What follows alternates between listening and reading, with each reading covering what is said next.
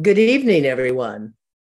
Welcome to this wonderful presentation, which is about to begin.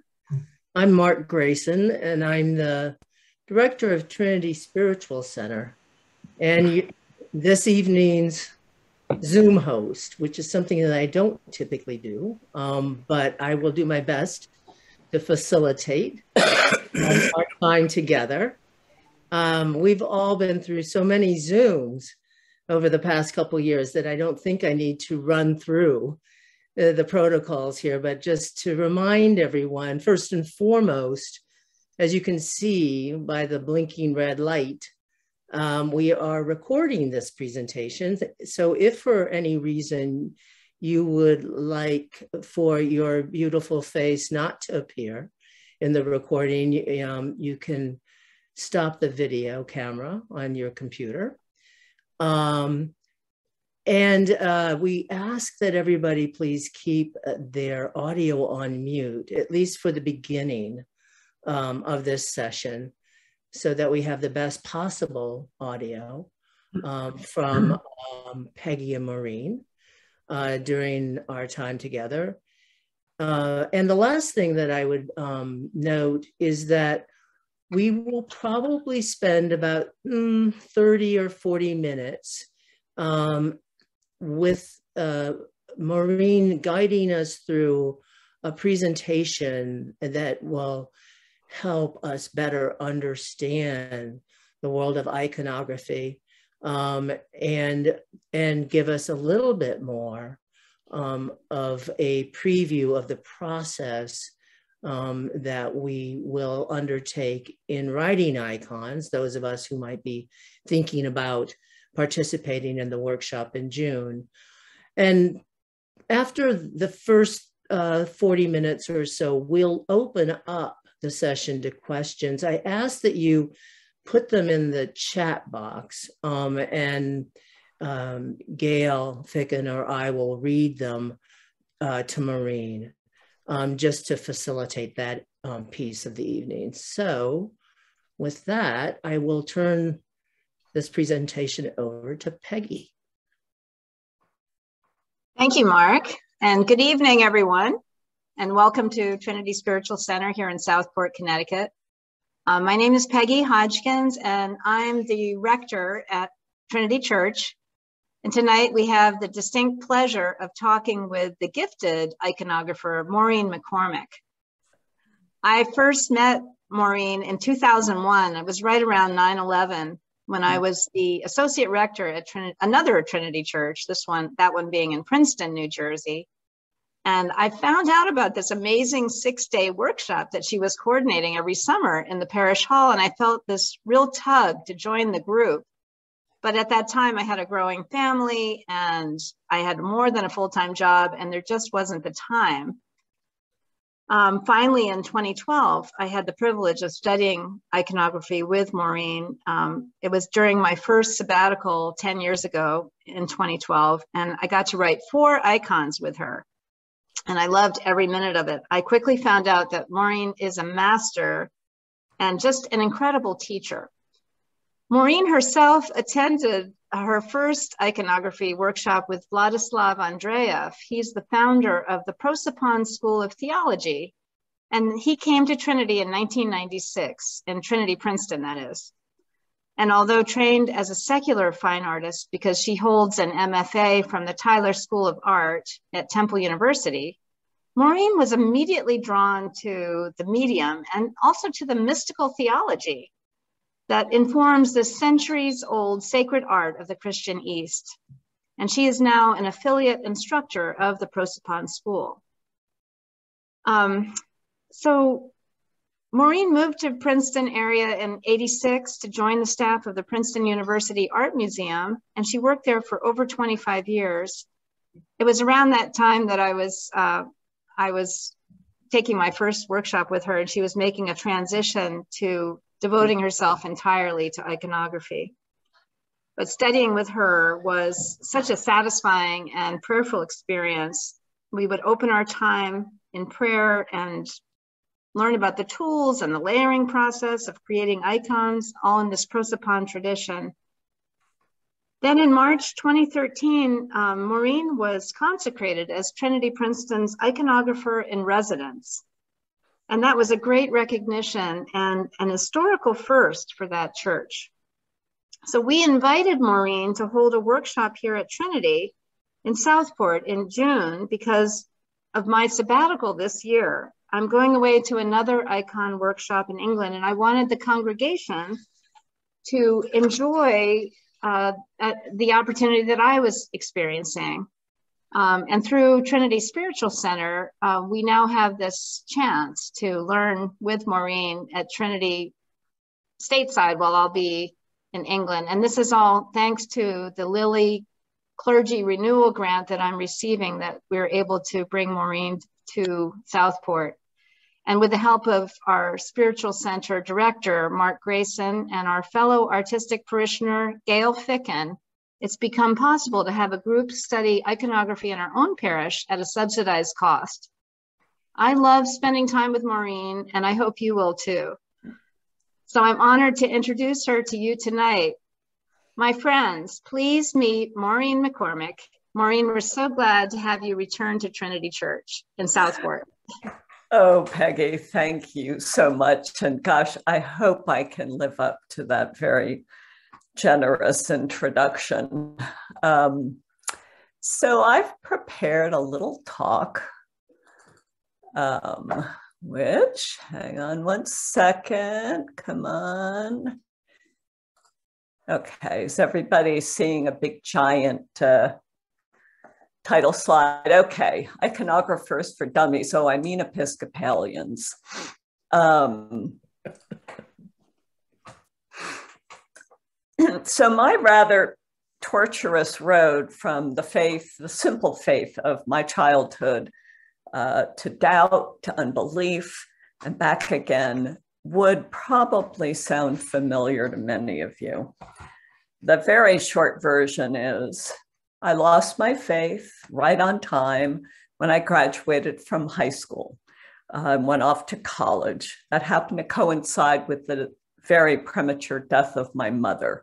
Uh, and I was at that age unable to reconcile how could a loving God take my mother? Uh, so instead, I looked for meaning and transcendence in making artwork and I majored in studio art as an undergraduate. And as Peggy says, I then went on to get my MFA from the Tyler School of Art.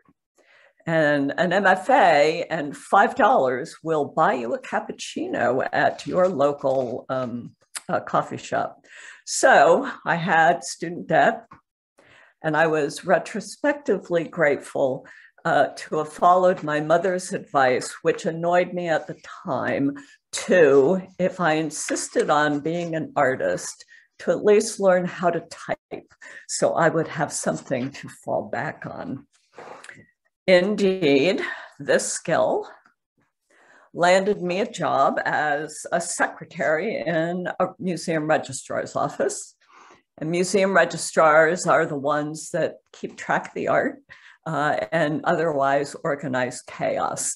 I found that I had an aptitude for the work and fast forward found myself um, as the registrar at the Princeton University Art Museum. Somewhere along the line, okay, 1988, I acquired a husband. We acquired a house. We had a baby mm. who's turning 20, has turned 27. Um, somewhere in there, when my daughter Phoebe was just a couple years old, I heard that still small voice kind of coaxing me to come on back.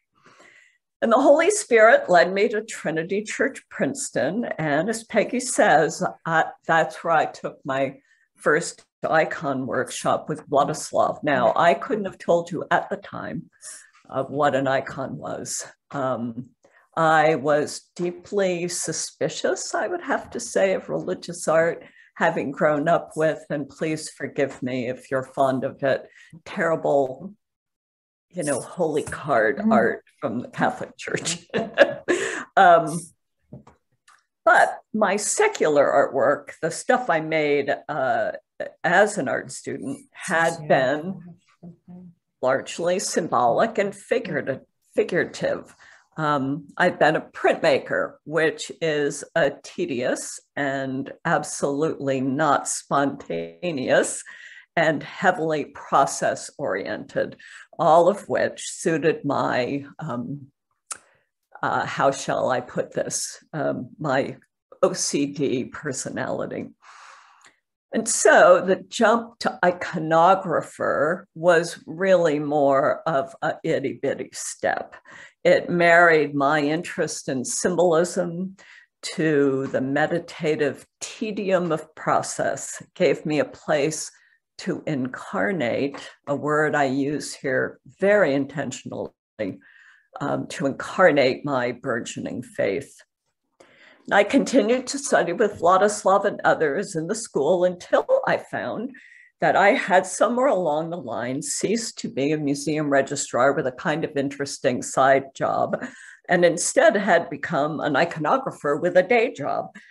And so in 2013, I did step down from the very satisfying but all consuming position at Princeton to start this new chapter on St. Patrick's Day 2013, happened to be a Sunday.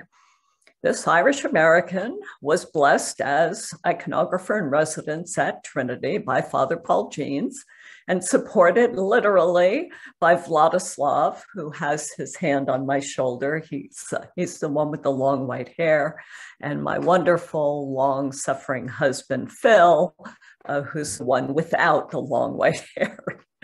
Um, my title, iconographer in residence, is more than honorific in that I am literally in residence.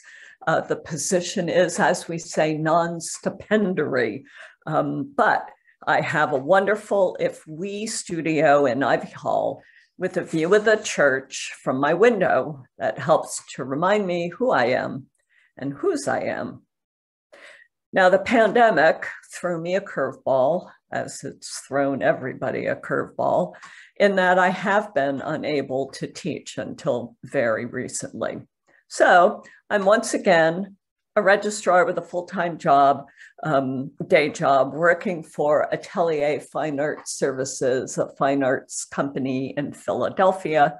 Um, uh, for the time being. But retirement is not far away, God willing, and I look forward to spending more time in the studio and teaching in the next year or two. Enough about me. Any talk about icons has to start here.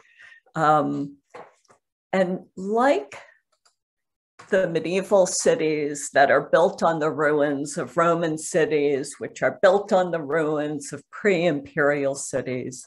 The tradition of icon is built on previous visual traditions.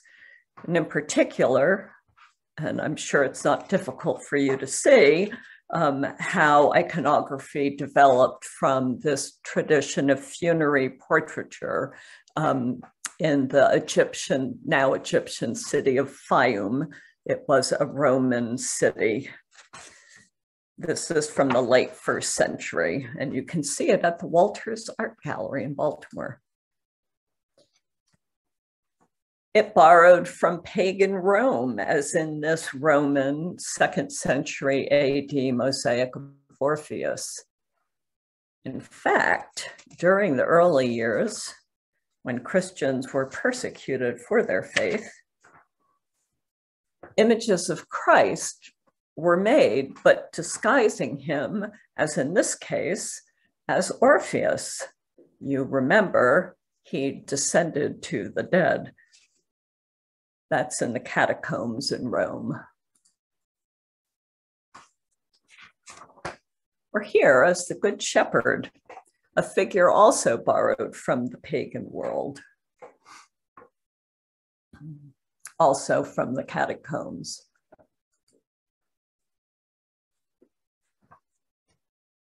Pictograms were a pretty safe way of depicting Christ. But of course, everything changed once Constantine converted to Christianity in 313 and made Christianity I'm sorry for this one, the coin of the realm that is, in fact, Constantine the Great. It was now acceptable to depict Christ, uh, as in this fresco, perhaps one of the earliest depictions of Christ as a youth with a beard, and I, th- I think looking quite Semitic and handsome.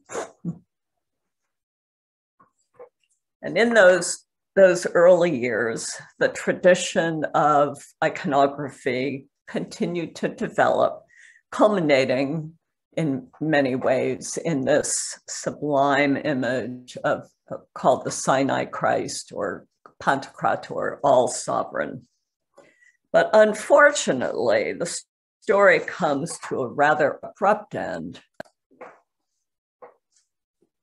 because of the Byzantine iconoclasm. Now, the last, which happened in the seventh century, the last truly ecumenical council that was held before the Great Schism, where the Latin speaking West broke from the Greek speaking East. I have trouble with left and right. Um, this council was convened to settle this so-called iconoclastic controversy. It was also it was held in Nicaea, uh, and so it is sometimes called the Second Council of Nicaea. The iconoclasts, the image breakers, argued that the second commandment forbade the making of images. You shall not make for yourself an idol, whether in the form of anything that is in heaven above, or that is on the earth beneath, or that is in the water under the earth. Their opponents, the iconodules, or the servants of the image, countered that yes, this was true before the incarnation. But afterwards, it was absolutely acceptable since, in Jesus's own words, he who has seen me has seen the Father. The iconodules won the day and went so far as to say that not only was it acceptable to create images of Christ, his mother, and the saints, but that not to do so was to deny the full humanity of Christ and thus to deny the doctrine of the incarnation.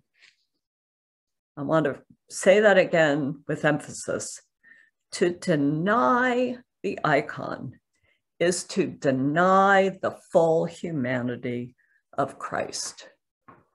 And it is for this reason that I've chosen this um, section from John's Gospel. Um, uh, which you may have trouble reading because it's pretty stylized writing. And the word was made flesh and dwelt among us, and we have seen his glory, the glory of a father's only son.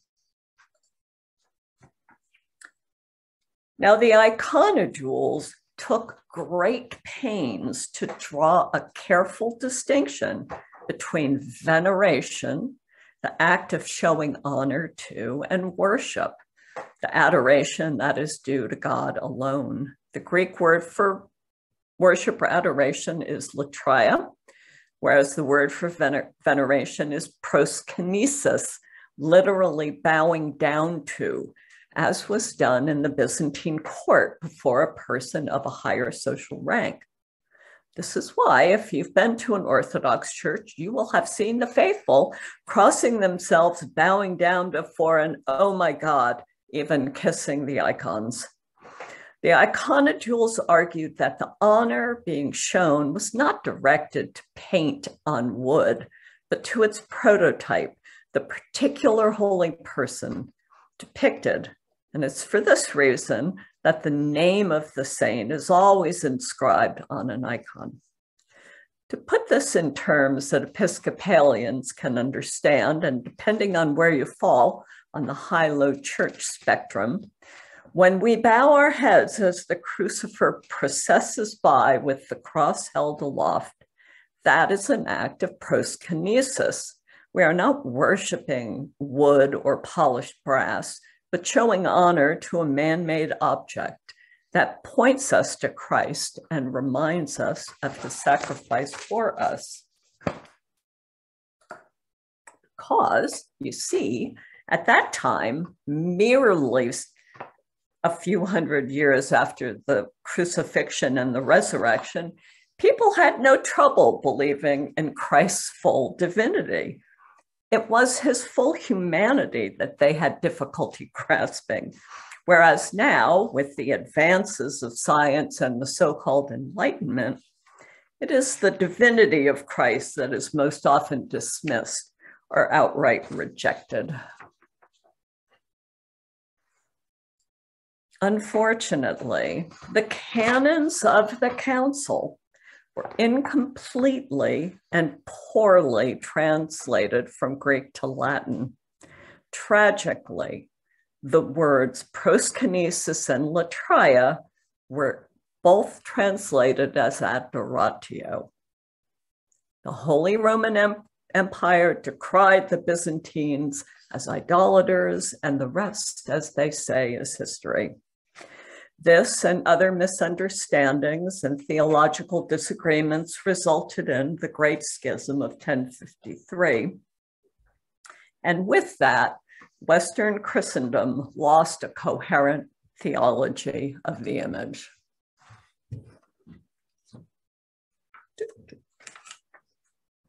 The feast of the triumph of orthodoxy is celebrated by our Orthodox Christian brothers and sisters on the first Sunday of Great Lent. Parishioners process around and through the church holding an icon from their home icon corner reenacting the Byzantine procession held in 843 to celebrate the proclamation of the Seventh Ecumenical Council. Sadly, we have no way of knowing how many icons were destroyed during the iconoclasm.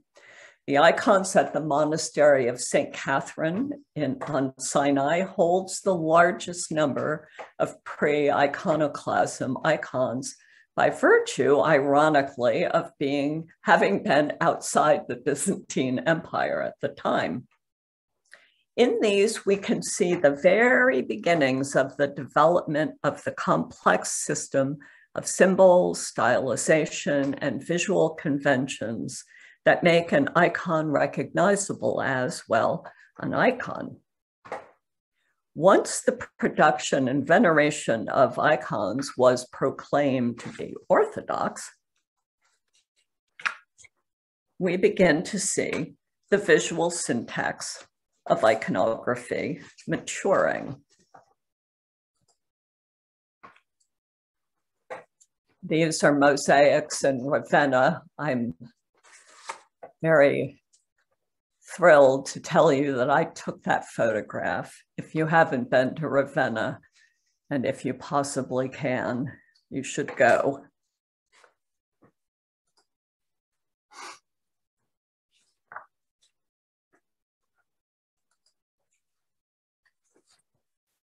What a difference a few centuries makes. Here we can really compare the relatively naturalistic Sinai Christ to this 14th century processional icon of the same subject made in Constantinople. I think you can see that the highlights have become much less natural, much more stylized. The 3D forms have been flattened. The space depicted has become very shallow the utter strangeness of the icon lets us know that this is not a portrait of Christ so much as it is a symbolic representation of the great mystery of the incarnation. But then, guess what? The fall of Constantinople to the iconoclastic Ottoman Turks uttered in another wave of iconoclasm The torch of iconography was passed from Constantinople to other Eastern Christian countries, notably Russia, where it arguably reached its zenith in the work of Theophanes the Greek, who'd been born and trained in Constantinople, and his best known student, St. Andrei Rublev.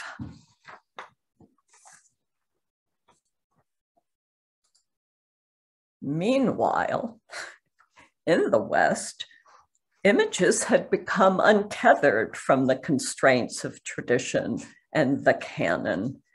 They were deemed useful for didactic purposes, a way to proclaim the gospel to a largely illiterate laity. But the humanism of the Renaissance allowed artists to depict Christ, his mother, and the saints however they wished, or however their patrons wished. Innovation rather than faithful adherence to tradition was celebrated. No longer did the honor accorded to the image pass to the proto prototype, but instead it remained right there on the surface of the painting. Perhaps in admiration of the artist's skill and who hasn't looked at a Michelangelo or a Da Vinci and marveled how did he do that? Or to envy the wealth of the patron who could afford all that gold leaf and the precious azurite that artists began to use on the robes of Mary, or to build the magnificent cathedrals that the paintings adorned. The image had become ecclesial decoration, an inanimate object that might be beautiful to look at and in its way edifying, but which was most decidedly not understood to be an instrument of grace. And so it went until iconoclasm. Don't worry, I'm not going to say much about this beyond the fact that Calvin, the most iconoclastic of the reformers, based his iconoclasm on that bad Latin translation of the canons of the Seventh Ecumenical Council. Truly, the sins of the fathers are visited upon the children. It is only recently, 1984 to be exact, that we, by which I mean Anglican Communion, have come to understand that our own iconoclasm was based on that bad translation. And so now it is not unusual to see icons in Anglican or Episcopal churches. However, regaining our eyes to see has not, in my opinion, yet happened. And it won't happen overnight. I hope this short talk will be a small contribution in that direction. Any of you who have been an Orthodox church, and this is the Cathedral of the Annunciation at the Moscow Kremlin, will have seen the iconostasis, literally the place of the image. What most of us would describe as a wall of icons separating the nave where the laity assemble from the altar where only the priests enter to celebrate Eucharist. However, the iconostasis, rightly understood, is not an impenetrable wall, but corresponds to the veil of the temple torn in two at the moment of Christ's death.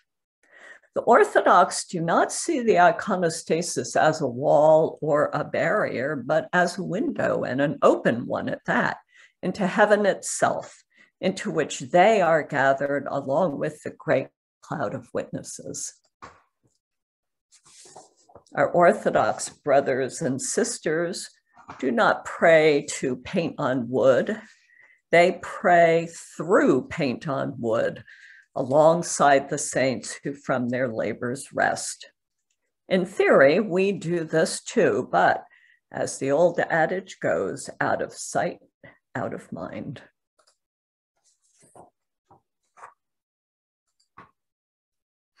Icon is sometimes described as the gospel in light and color.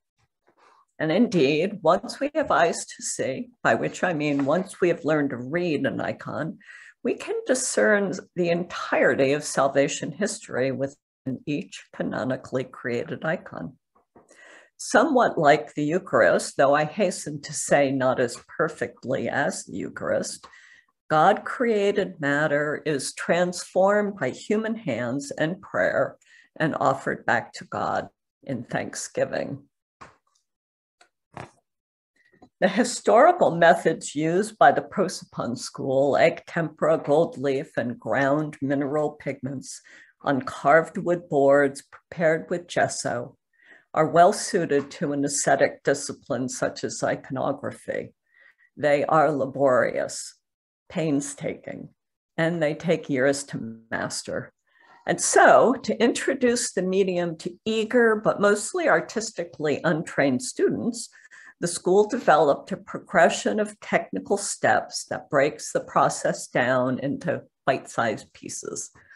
Each step is then used as an imaginative springboard to introduce students to the more encompassing subject of iconology, the study of what it means to have been created in the image and likeness of God layering scripture, teachings of the early church fathers, and other sources from tradition over each of these steps, the iconographer's spiritual imagination is engaged and directed. And in this way, the act of creating an icon may be understood and experienced as liturgical, whereby the iconographer reenacts the story of creation and salvation history writ large while simultaneously attempting to restore their own imago Dei. For example, an icon's life begins with a board. I went, I, I jumped ahead there. You know, a board cut from a tree. Then God said, Let the land produce vegetation, seed bearing plants, and trees on the land that bear fruit with seed in it according to their various kinds. And it was so. And God saw that it was good. And there was evening and there was morning the third day. Often a shallow indentation is carved into the surface of the board. After being sanded, the porous surface of the wood is sealed with glue, most often animal hide or fish glue. This recessed area of the board is called the kovchek, meaning ark or coffer, a special container for holding valuables. In this case, the treasure contained in the icon's kovchek are the holy images. You can think of them the, as a tooled and bejeweled gospel book cover often some element of the composition, for example, the hem of the saint's garment or halo, will extend onto the frame of the icon as if to demonstrate that the reality that the icon presents may be invisible, but it is close at hand. Next, gesso of the next, I forgot to tell you, a piece of linen is glued to the surface of the wood. The cloth gives the gesso something to adhere to and protects the paint layers from the inevitable expansion and contraction of the wooden board. Here we can remember that the Christ child was wrapped with bands of cloth and the crucified Christ was wrapped in a linen shroud. The iconographer is reminded that she is called to die to self and be born a new creation. The gesso is applied. Gesso is a mixture of chalk, marble dust, glue, and water. As many as a dozen layers of the liquid gesso is applied to the surface of the board before being sanded and polished to a smooth, hard, and yet absorbent surface for the paint. The emptiness of the pure white gesso is rich with symbolic potential. It evokes, for example, the emptiness ex nihilo, out of which God called creation into existence, as well as the uncreated light on that first day of creation. The purity of the white gesso also calls to mind the virginity of Mary, through which the incarnation was achieved. After the iconographer has either drawn the image onto the gesso or transferred the sketch to the gesso board, And here, for any of you who are thinking about taking the workshop, I want to assure you of a couple of things. The boards will already be prepared. Um, six days is, it would take six days to prepare a board, much less to paint an icon. And you will be given a sketch that you will trace onto the board. Uh, it's sort of liturgical uh, uh, paint by numbers at the beginning, uh, beginning of the study.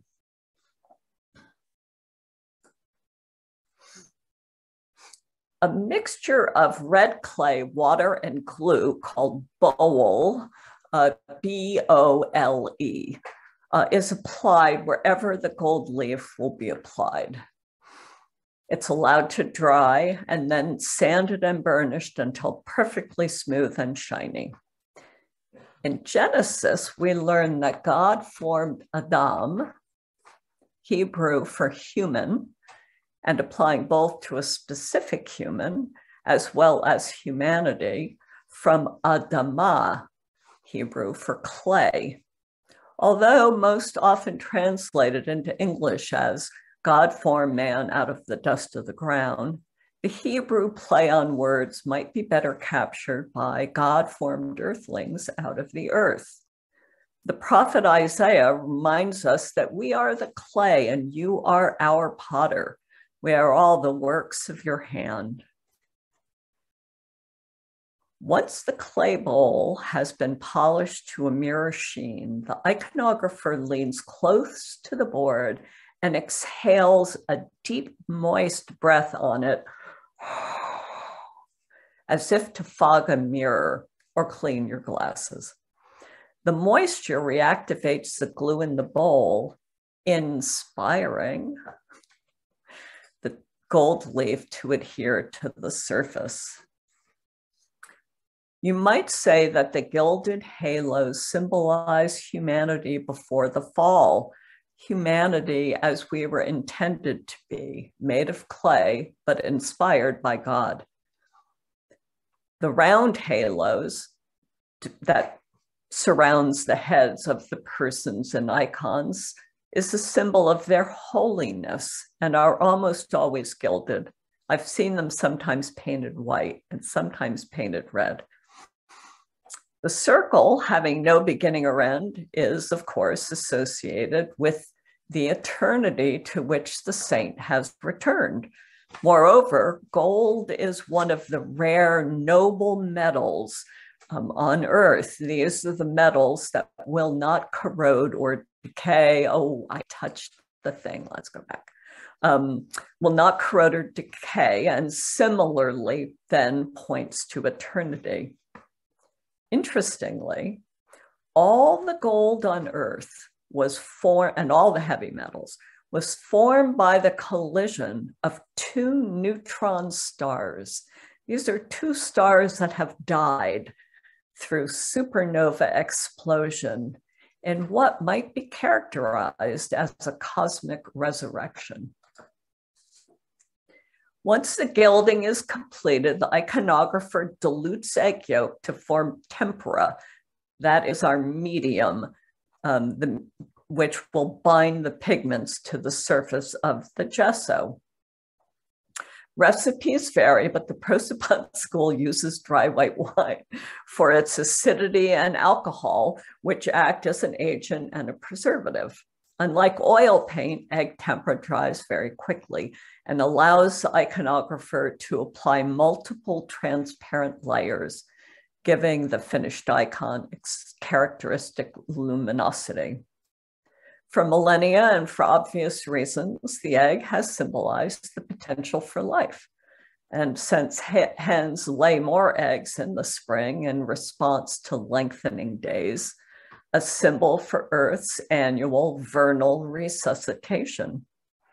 After the resurrection, the egg took on the additional symbolism of the tomb from which Christ burst free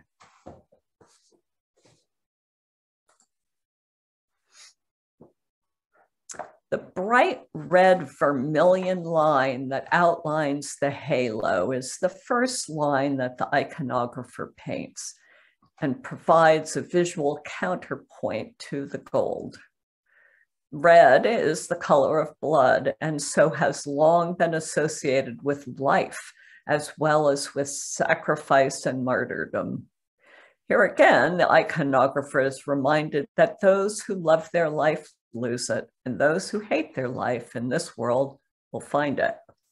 The endless nature of the circle reminds this iconographer of her endless need to repent, rethink, and return to the Lord.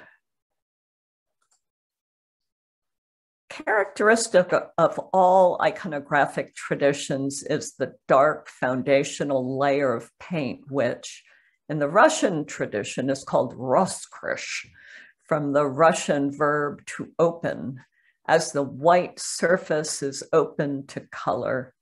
The marbleized texture is achieved by choosing coarse, earthy pigments, which is another way of saying dirt. we paint with dirt of all variety. Uh, we dilute the temper with water and stirring it vigorously in the palette before we puddle each brush load on the board. We, we are forced to keep the board flat on the table rather than upright on an easel to allow evaporation to assist in the creation of the swirling texture. This resulting chaotic surface evokes the formless void and darkness that covered the face of the deep at the beginning of creation. Out of this flat plane of darkness, the iconographer begins to suggest three dimensions by applying several alternating layers of highlights and then floats. First highlights create volume, well, they create the visual impression of volume. Second highlights carve or facet the first. And third highlights make the facets sparkle highlights enlighten the Roskrish visually as well as metaphorically. We can ascribe to them levels of consciousness. First highlights corresponding to the rational discursive mind that reasons, which is called dianoia by Plato. Second highlights with the nous, the mind that perceives and intuits truth. And the third highlight with the immaterial mind of the angels and the celestial hierarchy.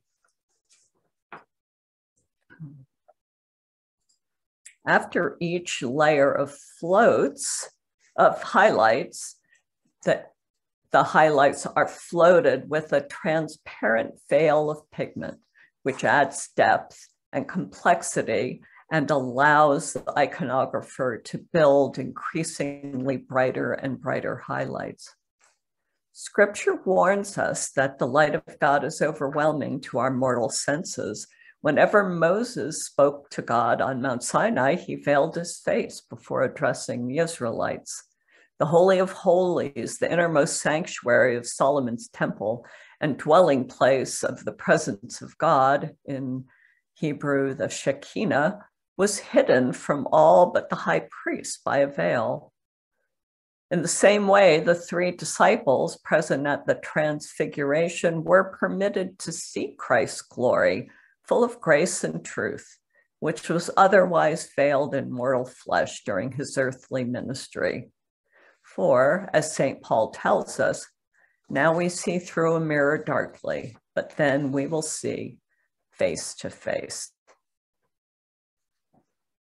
I'd love to say this icon was by my hand, but it is by Vladislav. Among the later steps involved in completing an icon, we paint final lines, inscribe the names, and do a lot of decorative um, doodads. One of the most dramatically transfiguring is the application of ojivki, the enlivening or life giving lines to the flesh of the features. Can you see my um, cursor? Yes, okay. So you see these funny little rays of line. If you're in a museum and you're looking at an early painting and you're wondering if it's an icon or not, look for those.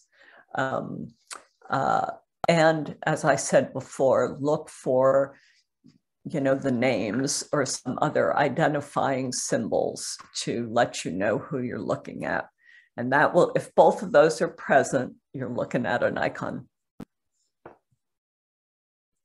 whereas earlier highlights are handled in such ways to imply that the light of the icon comes from within the saint the živky dance and glitter on the skin a sign that they have been graced by God to become partakers of the divine nature.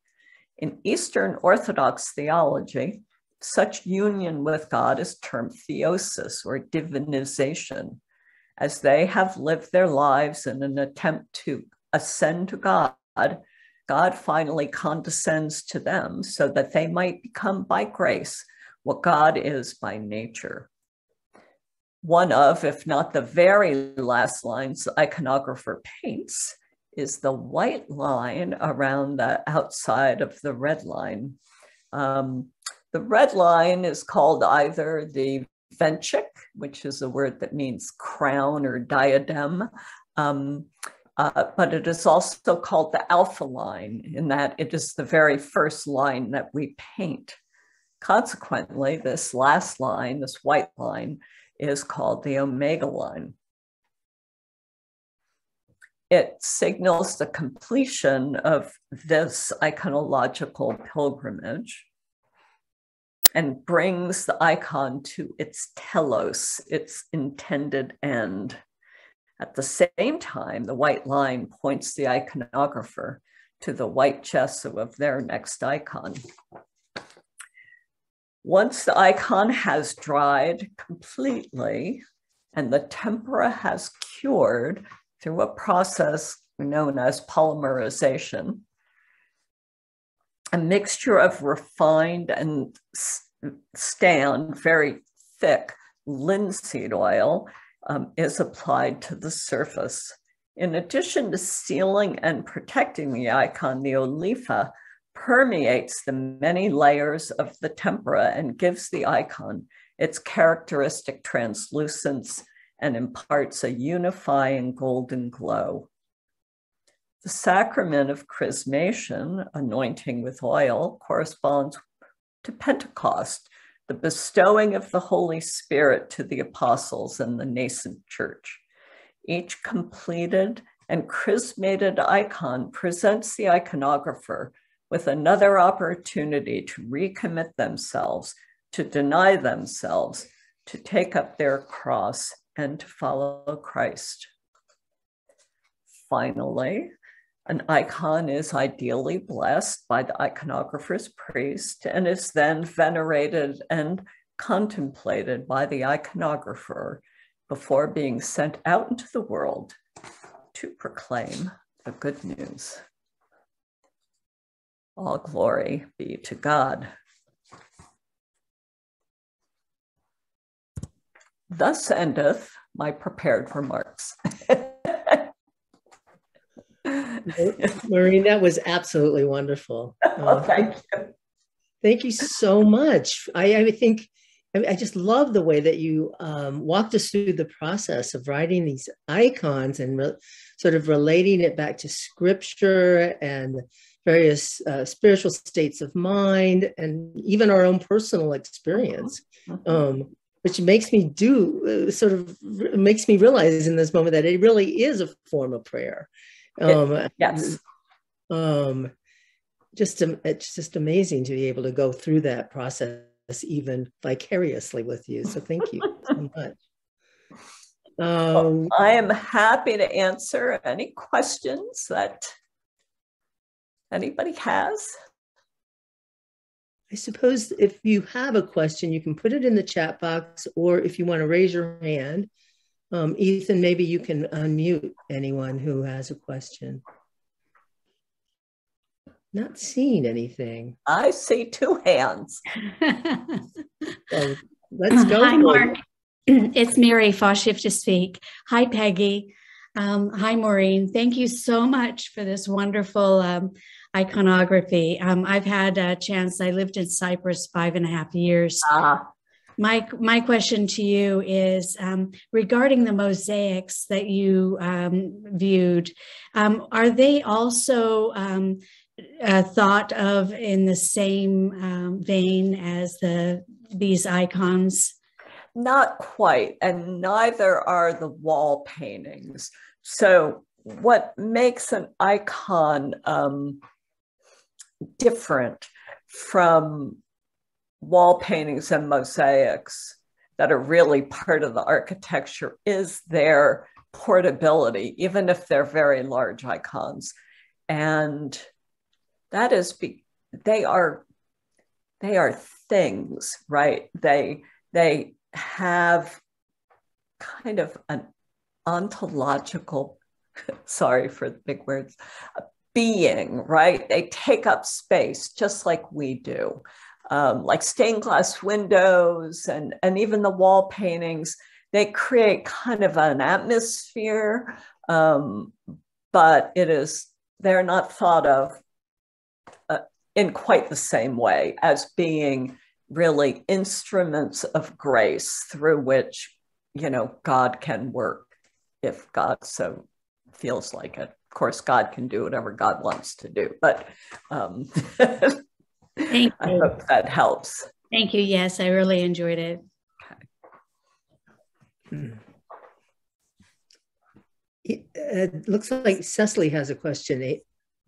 Ethan, can Cecily has a question. Uh, can you hear me? Yes. yes. Okay. So I came to this, I don't know a thing about icons. I'm not even sure that I could have said what an icon was. All right. So I really, really enjoyed your talk. And, and so my question is utterly basic.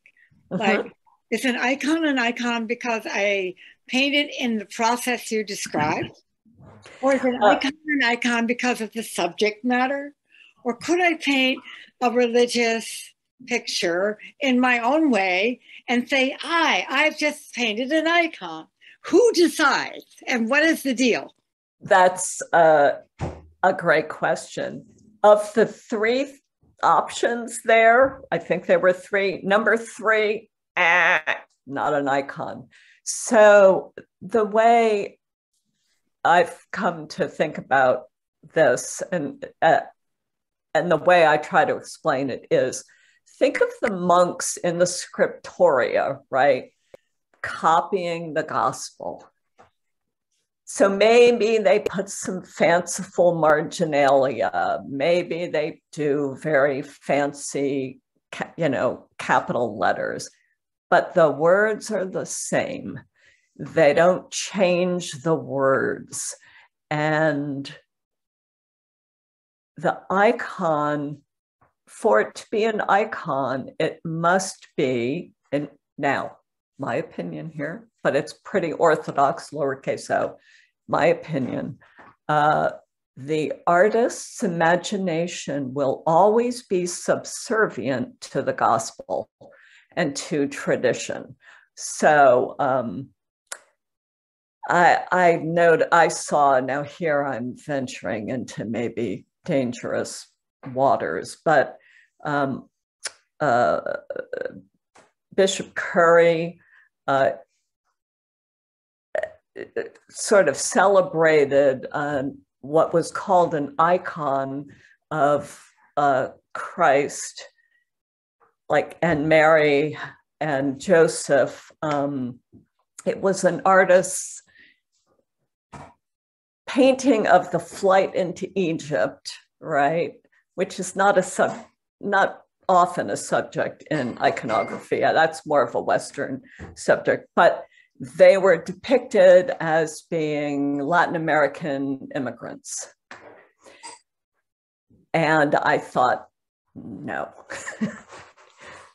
because Jesus was a particular human who lived at a particular time in history. Um, and again, my opinion, no more would I want, let's say I live an exemplary life and I'm proclaimed a saint, even though the Episcopal Church really doesn't do that. Uh, and somebody were to paint an icon of me, they, I would want that to be an icon of me. I mean, of me transfigured, of me having been divinized, um, and not of, uh, I don't know, a Chinese man living in the 17th century, you know. So, in the same way that we worship a particular God with a particular name, he hasn't told us what that is, but we say the God of, you know, Abraham, Isaac, and Jacob, right? That's that's the God that that we worship. Um, in the same way that we worship a very particular God, we are each created to be very particular persons. And that image of Christ that's within each one of us is in each one of our particular selves. So, um, so having said that, you know, the counter argument is, well, aren't you just copying ancient prototypes, right? You're just a copyist. Uh, you know, there I would say, well, was Glenn Gould a copyist when he plays a Chopin composition, right? He's performing that piece of music through his body.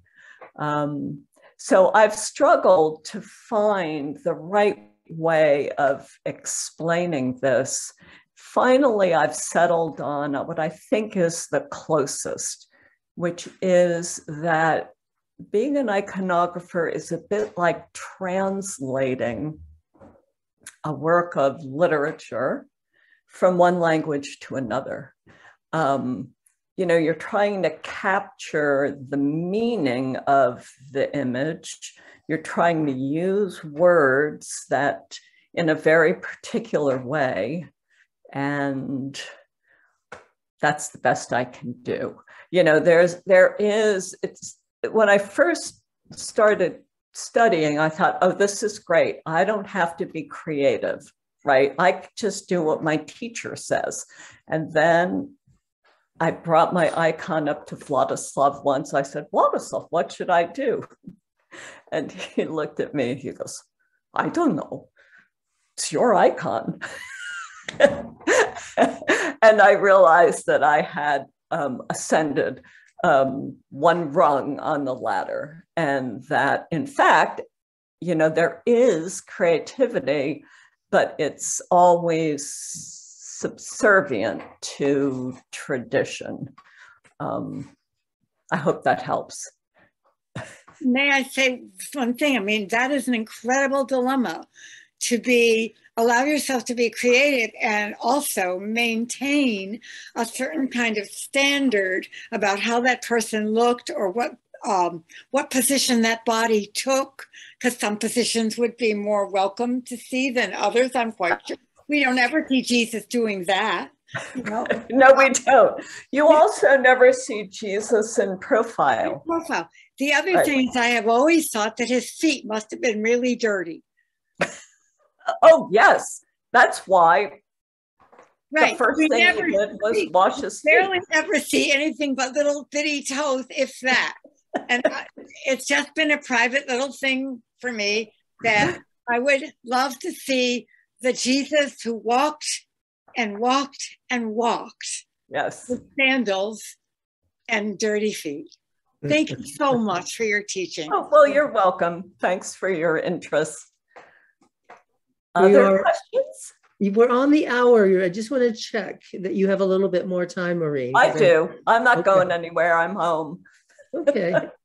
So are there other questions here? Hands? Yeah, I have a question if that's okay. My father was raised in the Russian Orthodox Church. And so half of my, my paternal family is all still Russian Orthodox, Russian Orthodox Church. And I'm used to, I'm used to attending family events with icons, where every family had an icon in the corner of the living room with a red candle in front of it. And I'm wondering what in the in the Eastern Orthodox Church, what role do the icons in family homes play to them? That's a great question. Um, the icon is the home altar, the cor- the icon corner uh, is meant to be the first thing you see when you walk into a house. Ideally, it's, you know, you're facing east. My house is very uncooperative. I don't have a good corner um, that would allow that. Uh, and I can tell you that once you live with icons enough, a room feels um, empty with, without them. When I have loaned icons for exhibitions, I get very lonesome for them. um, so, you know, it is a way that really kind of sanctifies the home life. And uh, are they personal? Are they personal? That? Are they personal to the family that has them, or are they? Um, I or... think it depends. Um, you know, there I've got an icon. Hang on one second. This is an icon I found on eBay, one of my better finds. Um, and it's St. George. And up here are three guys uh, that my my uh, this is Russian and my teachers told me who they all are. I have forgotten but they are probably the patron saints of that city. Um, they speculate that, uh, you know, St. George is the patron saint of farmers. Farmers? Well, Geo, right? Geo George. Um, uh, so the family that had this icon at home was probably a farming family and those are the patron saints. Um, let me put him down.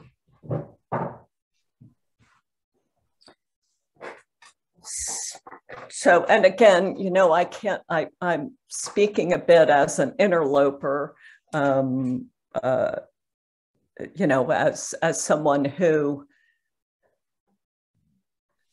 who tries to be faithful to the tradition and um, who cannot be ac- accused of being sort of a cultural appropriator, um, which is my concern a little bit, you know, frankly, with the uh, Episcopal Church's kind of wholesale embracing of the icon because there isn't necessarily an underpinning of theology.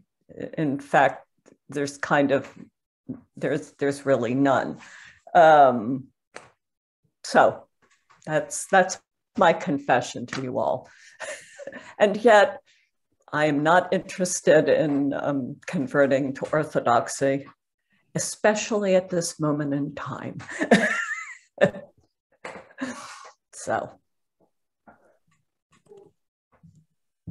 Other questions? Yeah. I think Gail uh, might have a technical question that um, she'd like to pose.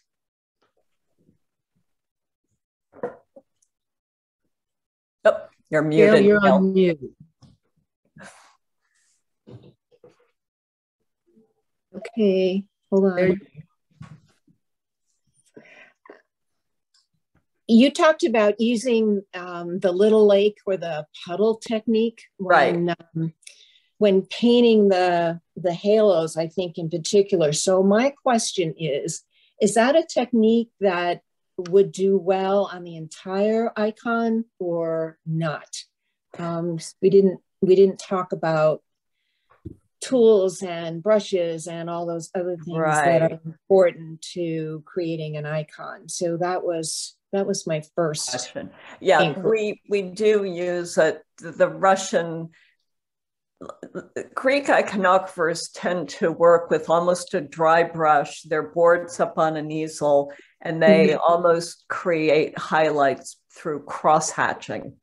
Um, okay. The Russian tradition is, um, you know, to lay the board flat. And mm-hmm. yes, we do this, uh, and I will always hear Vladislav's voice puddle and push puddle and push, okay. um, where you're using the, you load the brush and you're trying to create a, a little lake, petit lac. Um, mm-hmm. Uh, when we lay down that clay bole. And then the other time we do that is when we're creating the roskrysh. Um, after those two moments, we tend to, as we ascend uh, the, the Mount Tabor there um, with mm-hmm. each step, we tend to use finer and finer pigments. Um, okay. So we're not going to use our precious um, azurite to create roskrysh. We're going to save that for that final float.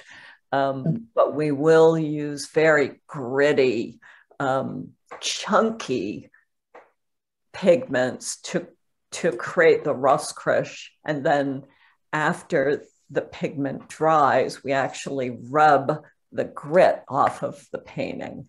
Um, and, you know, there's an opportunity to think about asceticism, right, as a way of, of wiping off the extraneous bits that um, we no longer need in our life, you know, pack light before you climb that mountain. So thank you, Marie. Yeah. Always helpful. I think maybe we should wrap up unless there's any other burning question that somebody has. We um, have run a little bit long. Um, we'll be sending out a, a link to this recording after um, this presentation, and we'll also be sending some information about the workshop from workshop. June 13th to the, to the 18th um, at Trinity Southport. Um, and I think what we should do at this point, Peggy, is ask you to please pray us out for the evening. Uh, before we do that, I just had one quick comment to make, Mark. Uh, thank you so much, Maureen, for your presentation. It was absolutely fabulous. I wanted to go back to your comment about uh, interlopers, and I too am troubled by it. But I take consolation in this, and I like your reaction to it. I think with ressourcement since Vatican II, so many of the churches, particularly uh, those of the, the Reformation, the Anglican Church, have taken ownership of their Latin roots or the Western Church's roots. So if you go back to, uh, you know, those early Ravenna and all of it, it's all there. So all is there. Interlopers, or is it our right to claim these ancient traditions of picturing the Christ and the saints. So I, I just wanted to offer that and get your comments about it. Thank you. Thank you. No, I think that's that's very well said and um, something I remind myself about. You know, in the end, we we all go. You know, we're all brothers and sisters, um, and you know, we we do, we um, uh, Anglicans, kind of, uh, I'm proud of the fact that we admit it when we're wrong, right? And through this ecumenical dialogue between the Anglicans and Orthodox theologians, largely in Cambridge, or Oxford, um, you know, we found out, oh, we didn't we didn't understand that um, and so there is a published statement, a joint statement that says, okay, you know, we misunderstood. Um, and that is something you're probably never going to hear, hear from the Orthodox Church, which is kind of maybe why I'm where I am. We'll get um, there. We'll get there. we the hope. Holy Spirit will lead and guide. It's fine. Yes, that's right. That's right. Yeah. So. Thank you. So it so I think with that, I, I also noticed that Gail very kindly has put her email into the chat box. You might want to copy that down if you're interested in the workshop, as she'll be taking the lead and organizing it. Um, but again, that'll be in the email that's going out after this. So we're all yours, Peggy. Thank you. Okay. Um, I'm really excited that everyone here tonight has had a chance to get to know Maureen a bit. And uh, Maureen, we're so grateful to you for sharing your deep knowledge of iconography and iconology. And this has been such an incredible insight into the history, the process, the theology, so much you've offered to us. Um, I thought I would close with a prayer that is about the first iconographer, St. Luke, one of the gospel writers, supposedly was the first iconographer. At least he's credited. Um, is that safe to say? By tradition. By tradition. So let us pray. O divine Lord of all that exists, you have illuminated the apostle and evangelist Luke with your most holy spirit, thereby enabling him to represent the most holy mother, the one who held you in her arms and said, the grace of him who has been born of me is spread throughout the world. Enlighten and direct our souls, our hearts, and our spirits. Guide the hands of your unworthy servant so that we may worthily and perfectly portray your icon, that of your Holy Mother and of all the saints, for the glory, joy, and adornment of your holy church. Amen.